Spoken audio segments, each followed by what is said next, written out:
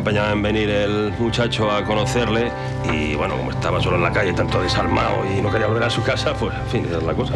Muy bien. Y vamos a ver. ¿Qué querías? Conocerte porque tú eres mi papá.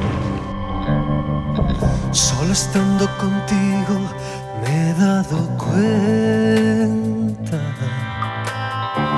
Siento algo tan dentro cuando es junto a ti. Ahora solo te digo, cariño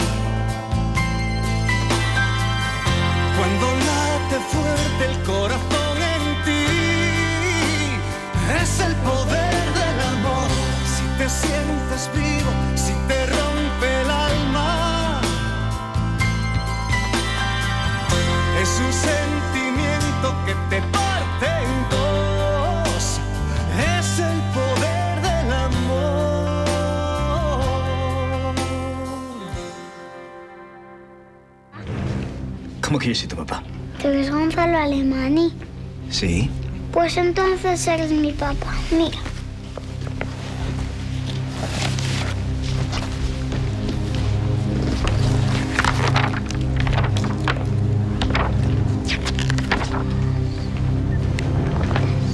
Me enteré de que habías vuelto porque leí la revista. Ya sé leer.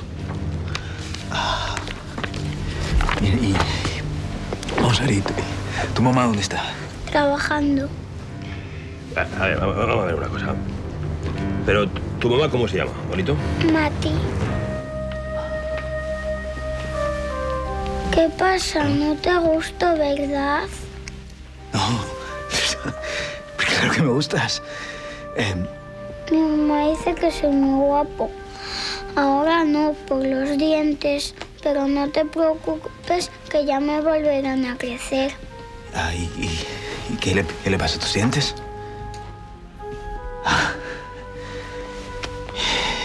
¿Me, me dejas que te dé un abrazo?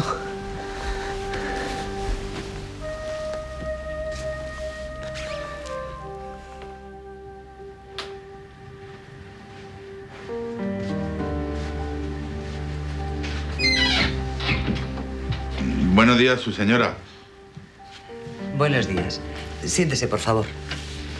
Usted debe de ser Bernabé Rodríguez Martín y trabaja como jardinero en casa de los Quintana. Bueno, sí, pero la casa es de Jimena, no de César. Ya comprendo. Verá, Mar- Lo siento. Lo siento, ahora mismo no puedo.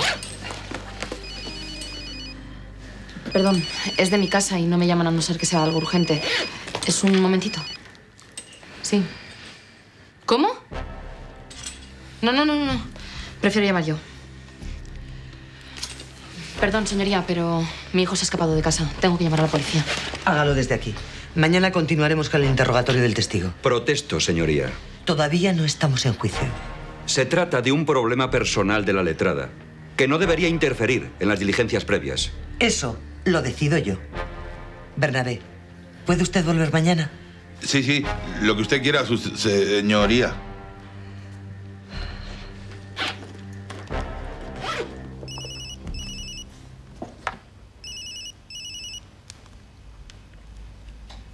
Dígame. Soy Andrea. Tengo que hablar contigo sobre lo que le pasó a tu padre. Este tema está en manos de la justicia y tú y yo... Creo que sé quién le disparó. ¿Quién? No quiero hablar de esto por teléfono. ¿Podemos vernos personalmente? No sé. Es importante. Lo que he averiguado nos interesa mucho. A las dos. Está bien. ¿Cuándo? Mañana a las 12. En casa de los padres de Miguel. Luisa y Antonio no están, así que no nos molestará nadie. Vale. Ahí estaré. Hasta mañana entonces.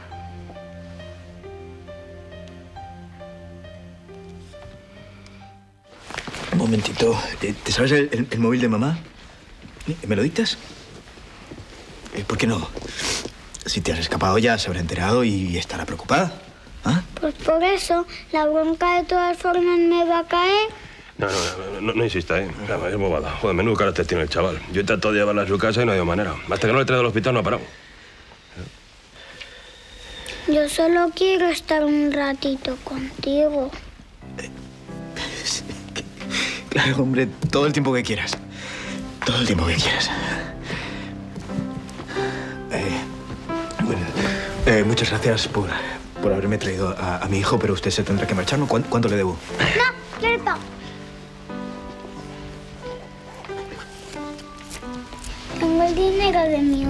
y el del ratoncito Pérez. Hombre, pero no te lo gastes, yo ya, ya le pago yo. Vamos. No, no, no, no, no, no, no, no, no, no. Eh, eh, Mira, aquí hay una cosa muy clara. Aquí mi cliente es Javier y es él el que me tiene que pagar. Esto es así, ¿eh?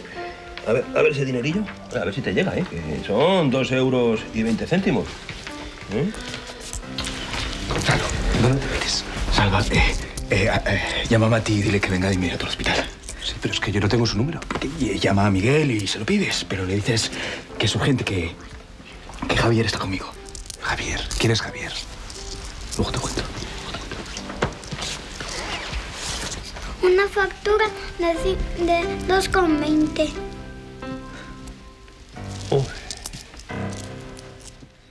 Seis años. Se llama Javier, es rubito y muy guapo. ¿Cómo que no es un dato relevante? Si encuentran uno feo, pues no es el mío. Vale, vale. No lo sé. Si hubiese estado conmigo, no se habría escapado.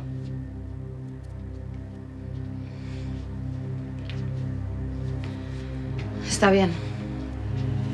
Intentaré averiguar qué ropa llevaba puesta el niño y les vuelvo a llamar. Haz el favor de tranquilizarte. No sé dónde está. ¿Cómo quieres que me tranquilice? Lo que no sé es cómo estabas tranquila dejando al niño con esa chica nueva. Tiene una cara de boba.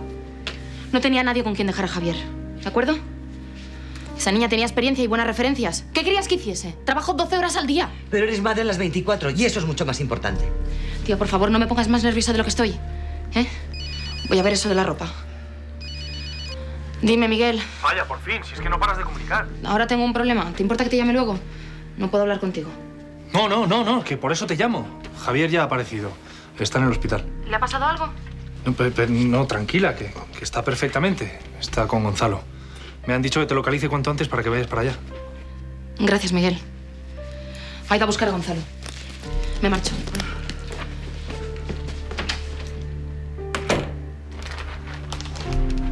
¿Me ha colgado? ¿Quién es ese Javier? Javier es el misterioso hombre de la vida de Mati. El que tenía catarro la semana pasada. Y te que le sido el catarro para que hayan tenido que hospitalizarlo. No, papá, el problema es que. El problema es que se había escapado. Javier es el hijo de Mati. ¿Mati tiene un hijo? Sí, de seis años. Sí, pero le trata como si fuera un adulto, ¿eh? Nosotros nos pensábamos que era un cliente. O hasta un amante, imagínate. Lo que pasa es que para Mati los niños son niños, no son tontos, y por eso les habla como si les hablara una persona normal. Ya sabéis cómo es de dura, ¿no? Cuando erais pequeños yo os hablaba como si fuerais... Eso, pequeños. Ahora que lo pienso debía parecer un imbécil. Pero claro, no... Es que no me salía de otra forma. Se me caía la baba. Diga sí, Antonio. Cada uno educa a los hijos como quiere. Mira, mira qué bien te han salido. En cambio, a Mati se le escapa con seis años. Ah, no bromes con eso, Emilio, que la pobre estaba atacada. Oye, pero. Pero Mati le dijo a, a tu madre que era soltera. ¿O es que está separada? No, papá, es que. Es que Mati es madre soltera. ¿Y, y se sabe quién es el padre de la criatura? ¿Coño? ¿El padre es Gonzalo? ¿A que sí? Bueno, oye, y la próxima vez no se te ocurra coger un taxi tú solo, ¿eh? Tú me llamas a mí. Mira, aquí, a este teléfono, que yo ya soy de confianza. ¿Ves? Hay mucho desapresivo por ahí suelto. Gracias. Bueno, ah, oye, otra cosa. Si tu padre no te gusta, tú me llamas a mí también.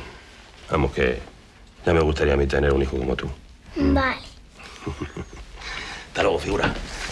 Bueno, pues nada. Gracias. A mandar. Y que te sale bien. Bueno, eh, creo que ha llegado el momento de que tú y yo nos conozcamos mejor. ¿Quieres hacerme alguna pregunta? ¿Qué tal te han ido las cosas por Estados Unidos?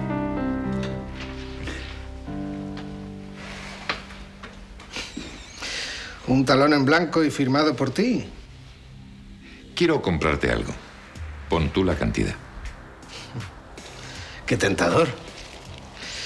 ¿Y qué es lo que tengo yo que te interesa tanto? El resguardo del registro de la chica de los ojos verdes. Me interesa mucho que ese documento no salga a la luz. Conmigo estás seguro. Tú por eso no te preocupes. No tengo intención de enseñárselo a nadie. Lo sé, pero puede pasarte algo. Tú mismo me lo hiciste ver el día que tuvimos ese pequeño incidente con la maceta. No te rías. A ti también te interesa. Es tu oportunidad para librarte de mí. Pero, pero yo no quiero librarme de ti, César. Eres mi mejor amigo. Piénsatelo. Llevas demasiados años siendo mi sombra. Tienes que estar cansado de mi prepotencia, de mi superioridad, de reírme los chistes. No, no hago ningún esfuerzo. En el fondo eres divertido. No siempre, reconócelo. Con ese dinero podrías retirarte, invertirlo bien y casi, casi vivir de renta sin tener que hacerme la pelota. No vendo. Por lo menos dime que te lo vas a pensar. No hay trato. Estoy bien donde estoy. Pero no te preocupes, ¿eh? Mientras yo siga bien, tu secretito estará a buen recaudo. Claro, es que tú eres un experto. Mm. Ahora tú. ¿Yo? Bueno, yo lo voy a intentar. Pero no me va a salir tan bien como a ti. Yo no juego a la peonza desde que era una chica. Y me voy. Javier. Javier, cariño. ¿Se puede saber, ¿se puede saber por qué te has ido de casa? ¿Estás enfadada conmigo? No, mi vida. Claro que no.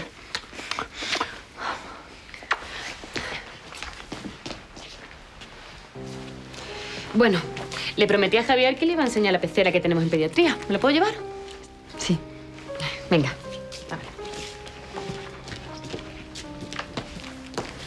Creo que merezco una explicación. Sí, supongo que sí. Mati, por Dios. ¿Cómo no me dijiste nada de Javier? Estoy dispuesta a hablar contigo, pero no que me eches la bronca, ¿vale? ¿Podemos ir a un sitio más discreto?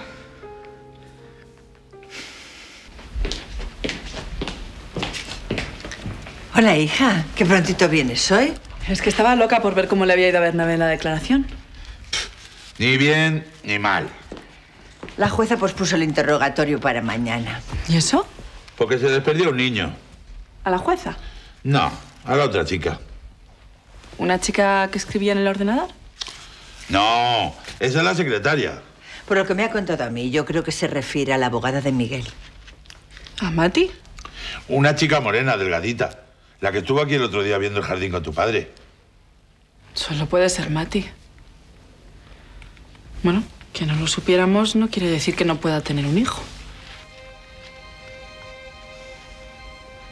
No querías tener hijos. No me lo preguntaste. Sí que lo hice. Y me dijiste que no. No me dijiste que estabas embarazada. Me hiciste una pregunta y yo te contesté. Que no. Que no era el momento. Y es que no lo era. A mí también me habría gustado esperar un poco. Yo también tenía una carrera y ganas de comerme el mundo. Pero tenía claro que mi hijo estaba por encima de todo. Incluso de ti. Y yo habría pensado lo mismo. Si me hubieras dicho que estabas embarazada, no te habría dejado tirada. Permíteme que lo dude. De todas formas, cuando volví ya te habías ido. Me habías desvalijado. Y a pesar de todo, me tragué el orgullo e intenté localizarte, pero fue imposible. Tus padres solo me daban excusas y al final me enteré que te habías ido a Estados Unidos. Me fui porque tú te habías organizado con tu profesor de economía. Manuel no era mi amante. Era mi, mi paño de lágrimas. Una de las pocas personas que me ayudó. Sí, por eso te fuiste con él una semana romántica. Y dale, que no me fui con él a ningún sitio. Me fui sola, al pueblo, a pensar. Tú y yo estábamos mal y no sabía cómo decirte que estaba embarazada. Tenía que pensar, que aclararme las ideas. No te puedes hacer una idea de cómo me siento. Ni tú de cómo me he sentido yo estos últimos seis años. Perdona, pero la culpa es tuya. Tenías que habérmelo dicho. El otro día viene a decírtelo, pero es imposible hablar contigo. El otro día es el otro día, Mati. Yo me refiero a hace seis años. Tengo un hijo. ¿Qué se supone que tengo que hacer ahora? Nada. No te preocupes. Javier es un niño feliz. Y hasta el momento, ni él ni yo te hemos pedido nada.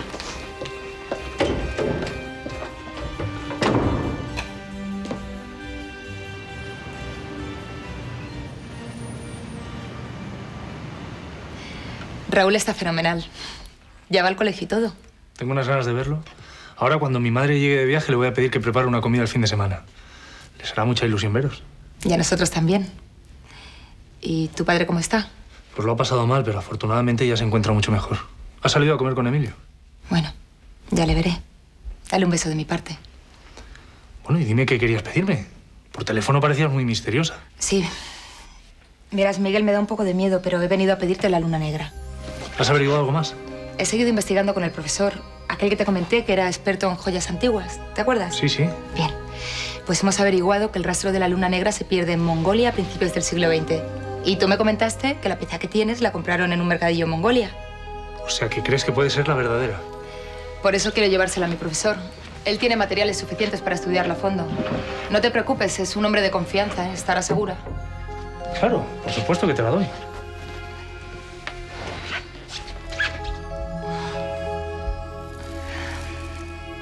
Preciosa. Prometo que te la cuidaré.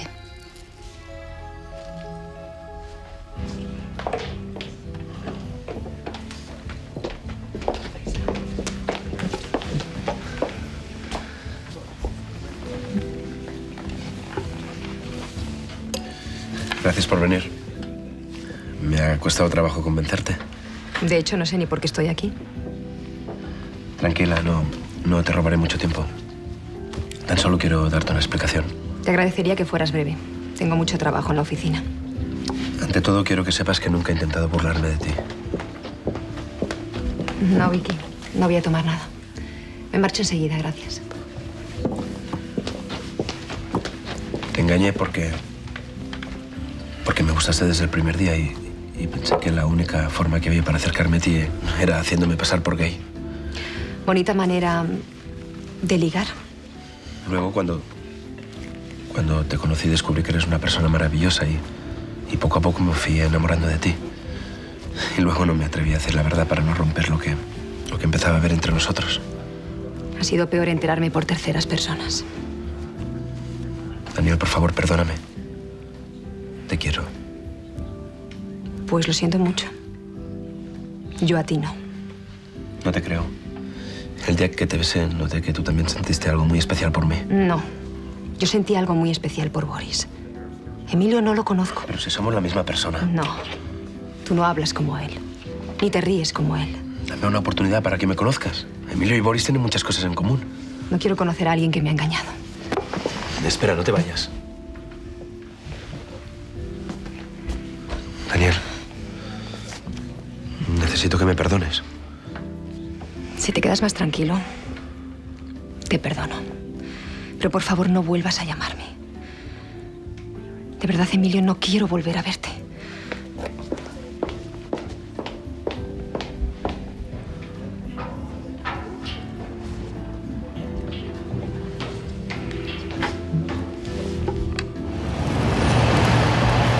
Hoy, ayer hace poco intentaste hacer un negocio, pero no te salió bien. ¿A que sí? Sí. Digamos que intenté convencer a un vendedor reticente y no lo conseguí. Ay, lo siento, mi rey. ¿Y qué querías comprar? Ah, nada importante. Bueno, ¿qué más dicen las cartas? ¿Mm?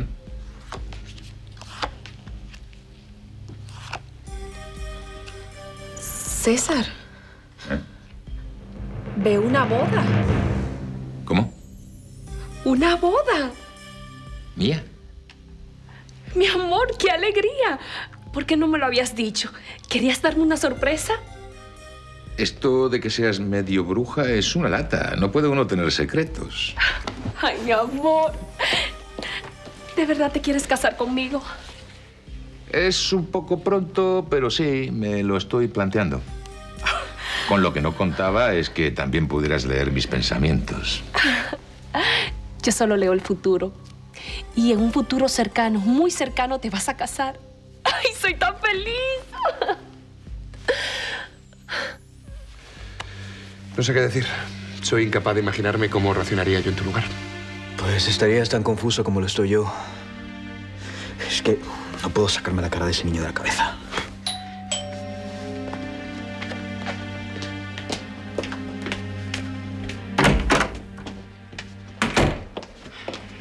Hola a todos. Tengo algo muy importante que contaros. Bueno, pues siéntate y tómate algo. Déjala que hable. ¿Qué pasa? Gonzalo, ¿tú sabías que Mati tiene un hijo? Hasta esta mañana no. Pues lo tiene. Esta mañana se escapó de casa. No sé cuántos años tiene, pero el caso es que no lo encontraban y la jueza tuvo que suspender el interrogatorio. ¿Qué pasa? ¿Por qué me miráis así? Lucía, ya lo sabíamos. Se llama Javier y tiene seis años. Y es hijo mío. ¿Qué? Bueno, pues hace una noche estupenda para dar un paseo. ¿Mm? Chicos, yo creo que estos chicos deberían hablar un ratito, ¿eh? Venga, hasta luego.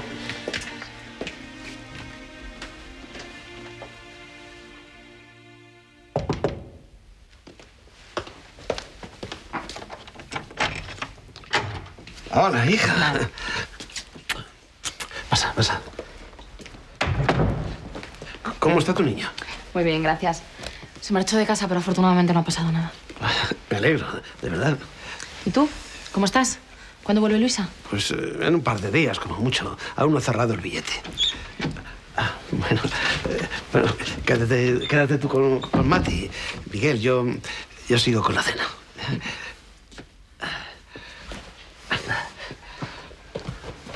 Hola, Mati. Hola.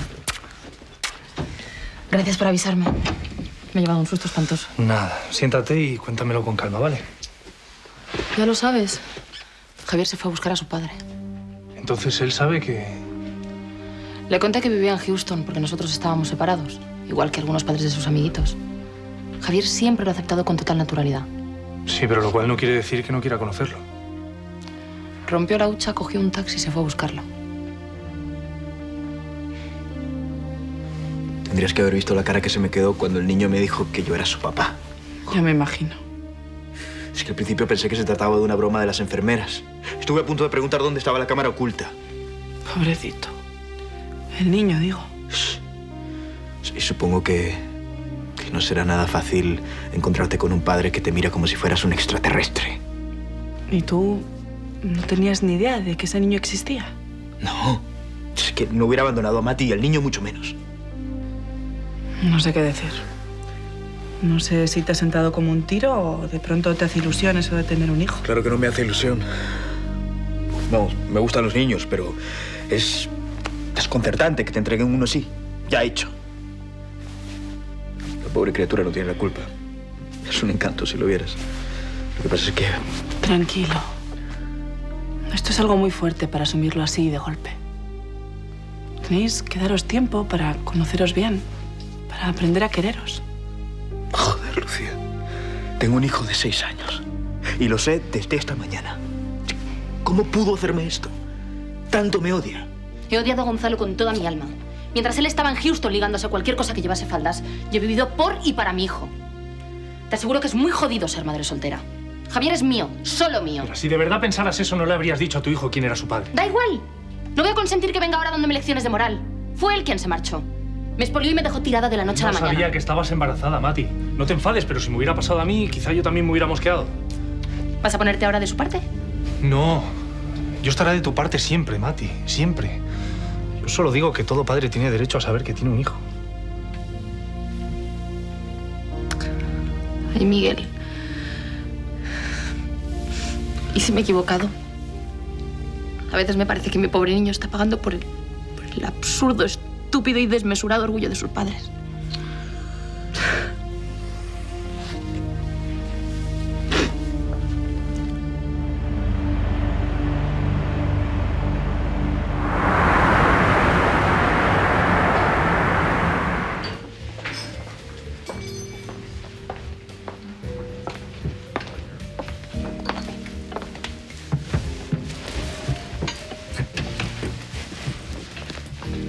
Buenos días, Irene.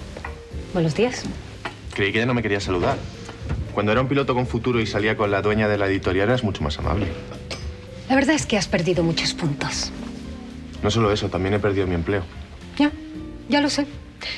Y mentiría si te dijera que me importa. Pero mira, tienes que estar contento. Podría haber sido mucho peor. Podrías estar en la cárcel. ¿Acusado de qué? De violación. Hablo de lo que le hiciste a Marta. ¿Marta te dijo que yo la violé? Oye, mira, no le veo la gracia, ¿sabes? Es que no la tiene. No tiene ni gracia ni imaginación. No es la primera vez que la bruja de Martita se inventa la historia de los abusos sexuales. ¿De qué estás hablando? Ya acusó a un compañero de haberla violado en su antiguo trabajo. Y ahora dice lo mismo de mí. No, Irene. Todo lo que te ha dicho es mentira.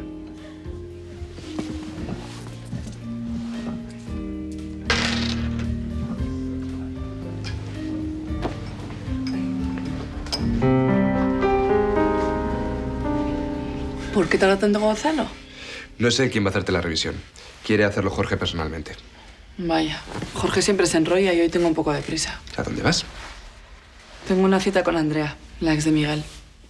Me llamó ayer para decirme que sabía algo sobre el agresor de mi padre. ¿Y vas a ir? Sí. Lo he dudado, no te creas, pero quiero verla. Quiero escuchar qué es eso que me quiere decir. Lucía, ten cuidado. Ayer hablando con Mati me puse a defender la postura de Gonzalo. Y de pronto me di cuenta que casi estaba defendiendo a mi propio padre biológico.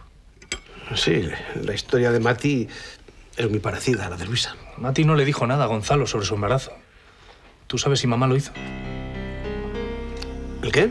Mamá me ha dicho que, a- que aquel hombre la abandonó, pero no sé si lo hizo después de saber que mamá estaba embarazada o si nunca llegó a saberlo. ¿Por qué piensas ahora en eso, Miguel? Porque quizá aquel hombre tuvo algún motivo para marcharse, o, o le pasó algo, o murió. Si hubiese muerto, tu madre te lo habría dicho. Pero quizá ni ella misma lo sabe. Hijo,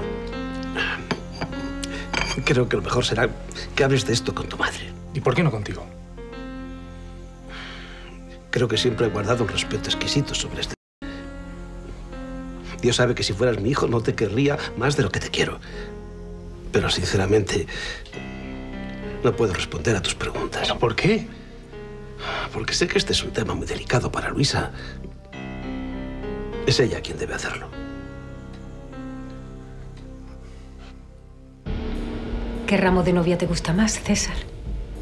¿Las rosas o las orquídeas? Las flores siempre han sido cosa tuya. Ya lo sé, cariño. Pero como es nuestra boda, pensé que querías opinar. Pues el que menos pese para que vayas cómoda. Yo prefiero este. ¿Te gusta el de orquídeas? Señor Quintana. Señor Quintana, ¿se encuentra usted bien? Eh, perdona, Irene, me he despistado. ¿Qué decías? Que si mando esto por mensajero, ¿o se lo da usted personalmente al autor cuando venga a verle? Por, por- por- por mensajero, para que lo lea con calma.